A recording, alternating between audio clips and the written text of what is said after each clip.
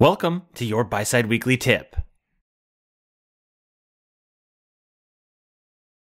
Sharing out your home valuation site is a great way to get new seller leads coming to you while you're closing transactions.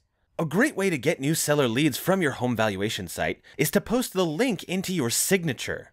From your marketing suite, go to Home Valuation Site. From your home valuation site, select Email Signature. If you scroll down, you'll see the instructions. All we have to do is copy this text. From your Gmail settings, which is under the settings icon, scroll down to your signature. Underneath all of the text, you can paste this here. And now, whenever you send an email to someone, they'll be able to run your home valuation site.